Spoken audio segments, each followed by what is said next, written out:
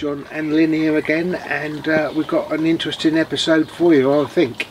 And um, what I'm going to do is take you down an apiary down the road that I filmed last on my last video where the sun had melted um, the outer frame on the plastic nuc box. And I would like to show you the results now whether or not it damaged any of the bees. Uh, actually it didn't but I want to show you. And um, I'm also going to boost the nuc box with some capped brood from another hive so we'll go down there in a minute and we'll have a little look together it's going to be very interesting and uh, it's the 2nd of July and we've got a lot of honey for sale at the door and it's been very good, isn't it? Lynn? Yeah, it's been nice to have the sign up, and uh, it's just uh, you really appreciate it then when you get some honey from the bees, and they work so hard, and John works hard trying to get the honey as well. So uh, it's a little bit of pleasure when someone comes and taps at your door. Yeah, it is. We've had so many people knocking, it's been great, and uh, they really appreciate the lovely honey. Uh, we've got some quite sad news to tell you, is that um, Lynn won't be able to help me with the beekeeping anymore because uh, sadly she only ever saw out of one eye because the other eye was really no good. It, you wouldn't know it looking at her but she only ever really had one eye to look out of and uh, sadly two weeks ago she lost most of the sight in the second eye. Um, she's not fully blind but pr pretty well can't see much at all. She's had an operation haven't you Lynn? Yeah they've stuck my retina back. Mm -hmm but unfortunately the um, stuff they stuck it back with will leave my vision really really very very poor until hopefully in a couple of months time they may well be able to reverse that take the sticky stuff out and then hopefully I might get some better vision back. So it's all hopeful. I'm looking forward to that. It's a little bit strange at the moment. I certainly won't be doing these queen spotting yes, unfortunately Lynn can't see the hive not alone any queens. So uh, uh, we're going to keep happy though, we're going to keep positive and still enjoy our lives together. Uh, she's going through another operation in two months so we hope that she might be able to see something again out of the second eye. So anyway, thanks for watching. We'll go down to the apiary together now and have a look at the very interesting thing I want to show you. Off we go. Nice to have some water in the garden for the bees and the birds of course, bees and birds.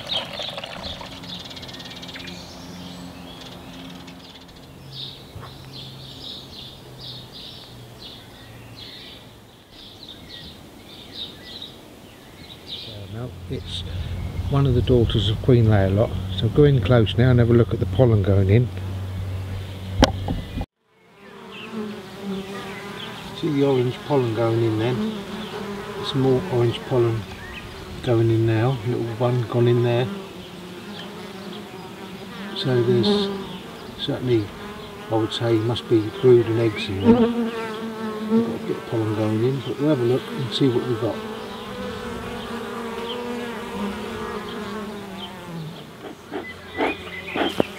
A little bit of smoke on the old entrance, yeah.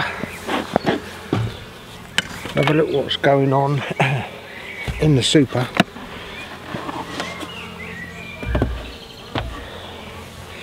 So this hive was queenless for some while and um, they diminished in population quite a lot so we don't expect much in this super.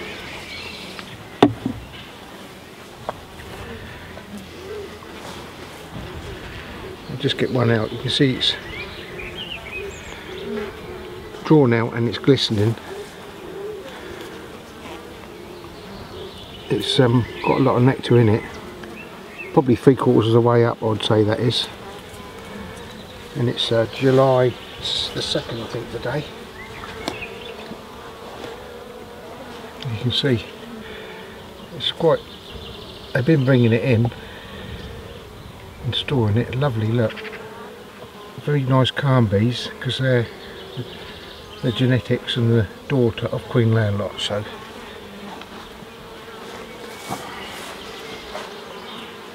We put that back. Now they all seem to be about the same all them frames. Each frame I've got a gap between each one.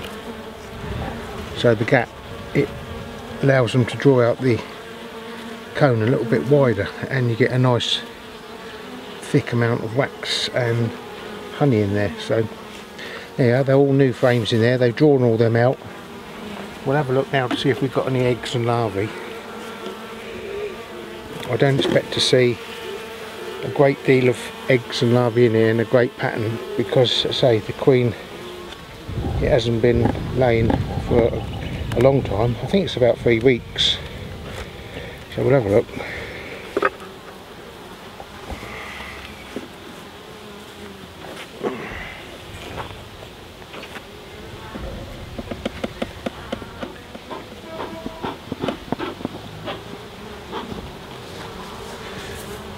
Heard the train then, we've got a, a steam train in the village of Shepherdswell. Oh there actually is quite a few bees in here so it looks okay. Have a look.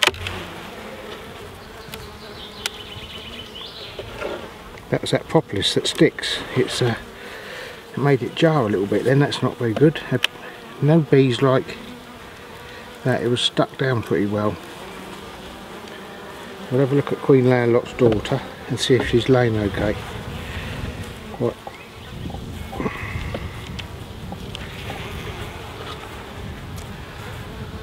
I caught a swarm the other day and um, when you opened it up they completely attacked me so it, when you've got genetics it's so much better good genetics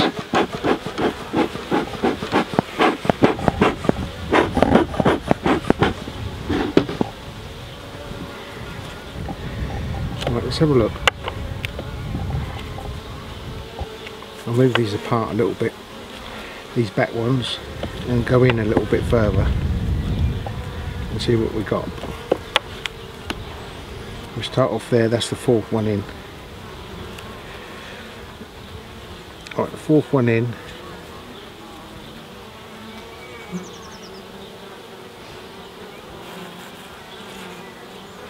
It looks like they've polished some cells ready for the queen to lay in there. I don't think I've marked the queen in this one actually, thinking of it. I'm pretty sure I haven't. This was a queen, a recent queen. I'm pretty sure I didn't mark it, so we might see her. But you can see that it's drawn out nicely and um, they have polished some cells, but there's no eggs in there.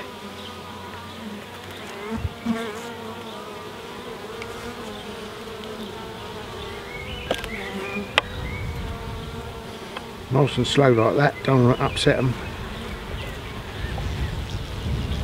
This one is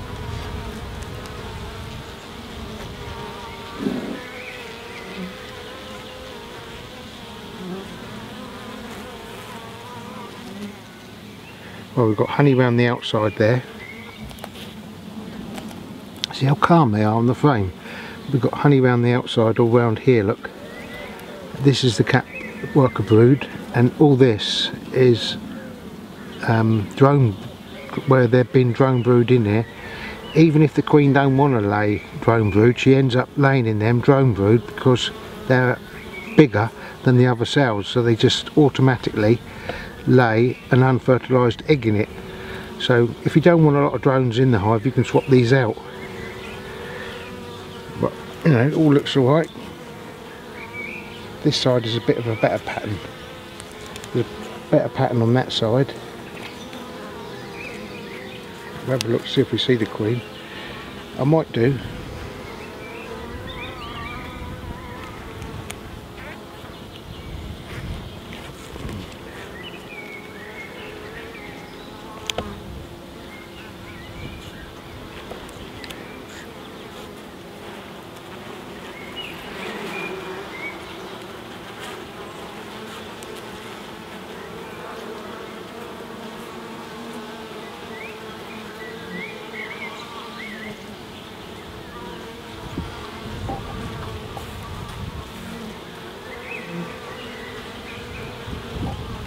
Oh, it's, it's a queen. I have marked it as well.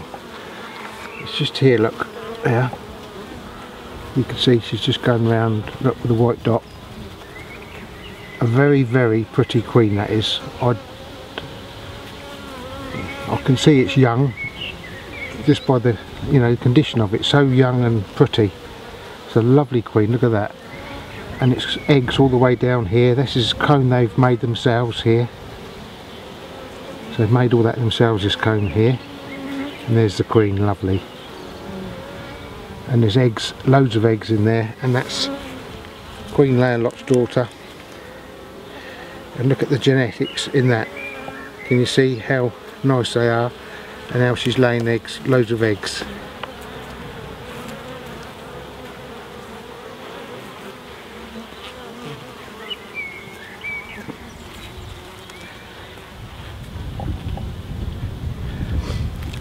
Where these have emerged here you can see they've all emerged and the queen has laid eggs in them. So these are about to emerge these here that are capped and then she's relaid the pattern will get better. This whole frame here every single cell has got larvae and eggs in there the whole of that. So that's going to be uh, a lot of resources coming in here a lot of bees coming we have a look in this one.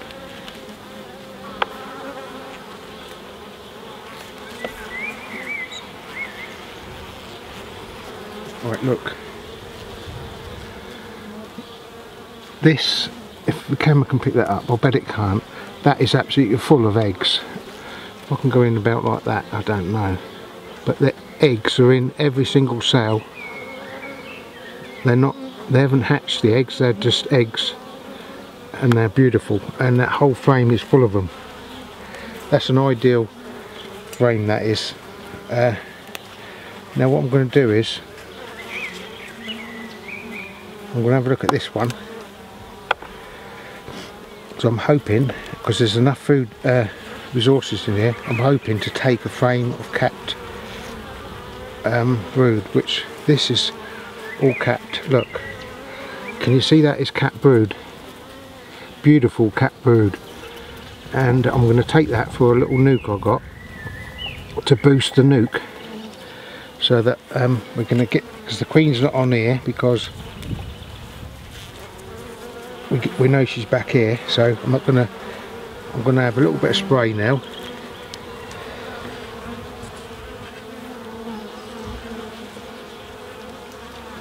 a little bit of smoke keep them calm because they won't like this because I've got to shake because I haven't got my brush with me. At least I'll try getting a, a bit of grass maybe. I could get a bit of grass.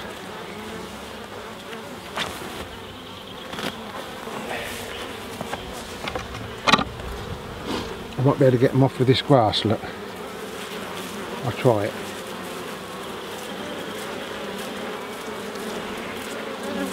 It's not very successful.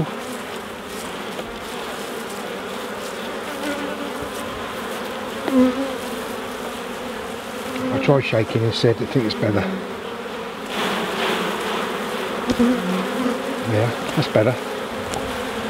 Now I can put that into the, a nuc I got to boost the numbers. I'll show you in a minute. That's lovely look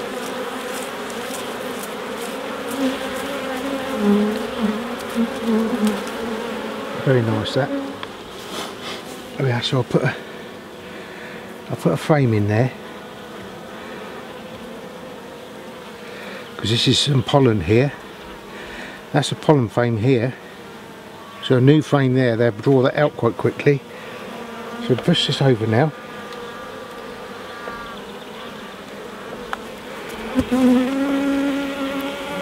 Push up nice and tight. Put the old dummy board back.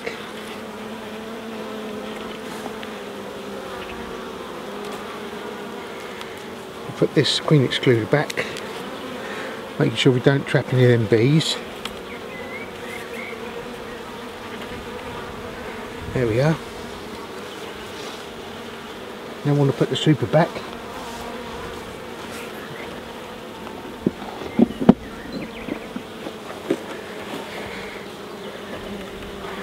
We don't want them bees on edge. Or that one. Get that one in.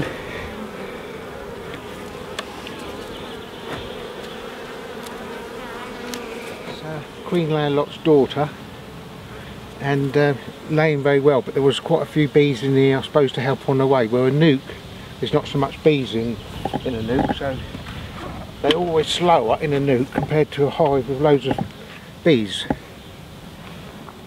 because the queen lays the queen lays uh, the amount of eggs that the colony can sustain. So if there's only a few bees you only get a few eggs. So that's why really it's good to boost the numbers. So I'm just going to show you I'm going to boost the numbers in the nuc now. Remember I showed you this nuc in the last episode but it got too hot in the sun. And I put these I put these roofing slates on here to keep the sun off the plastic nuc and uh, the sun had got to the side here so it's a lesson for me and for anyone watching.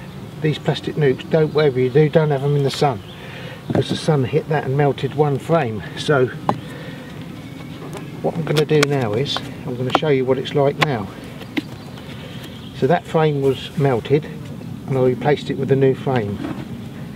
And next to it was a complete a complete frame of capped brood so we'll look now in here to see what it's like look at the amount of bees there's actually quite a few this is ready to go this one I'm still going to put the other frame in.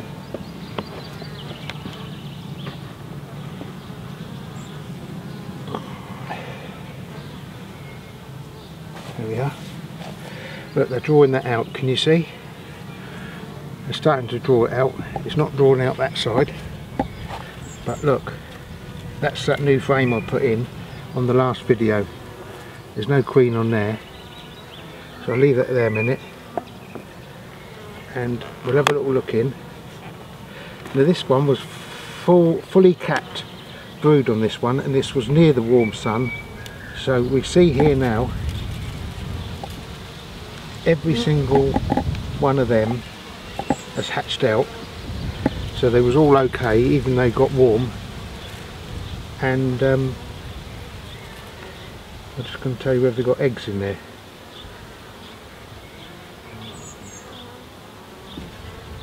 Yep, got eggs in there.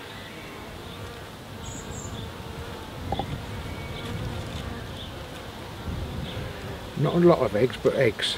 Oh, here's the queen actually. Look, here's Queen Layalot's daughter. A lovely black tail on her. And she's running around quite quick, quite lively. There's nothing wrong with her. So, you know, that's great.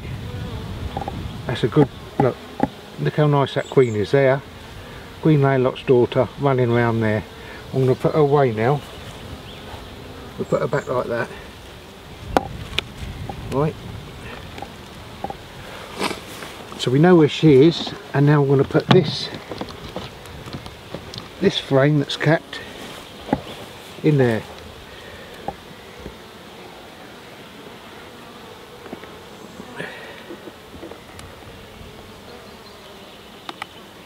There we are.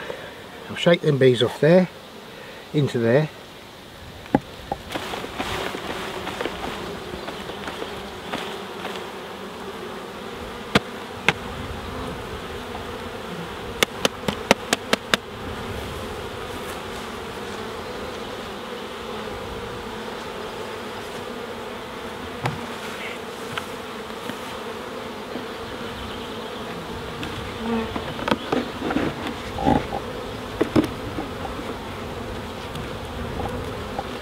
Now we know this hive is ready to go now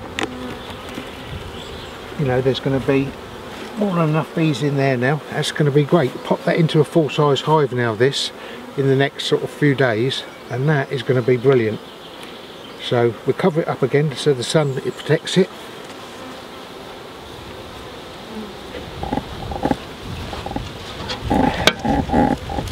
there we are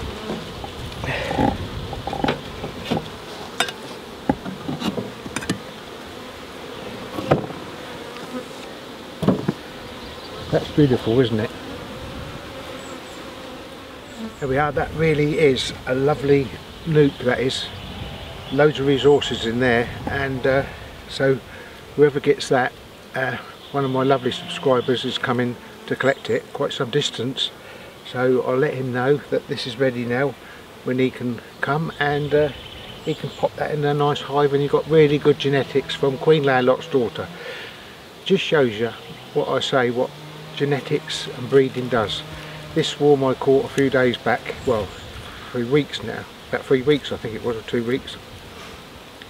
They were, they was only in a nuc box and they was attacking me. They was terrible. They wanted to kill me. So this is what you want. You don't want the other sort. Makes beekeeping terrible. So here we are then. Hope that's been informative to somebody. What a beautiful day it is here in Shepherdswell in July the 2nd. Lovely. Thanks for watching and I'll see you all on the next episode. Happy beekeeping to everyone. Don't give up. Keep going. Everything will be alright. Oh, oh, by the way, I'm giving, selling me honey at the door. I've had loads of people knocking, can I have more honey? Honey, honey. They love it. Honey is lovely, isn't it? Good for us. Full of nectar, uh, full of pollen. Good for our health. Um, keep eating the honey. I eat it every morning. See ya. Bye-bye, everyone. Thanks for watching. Great. What a life. What a life we got.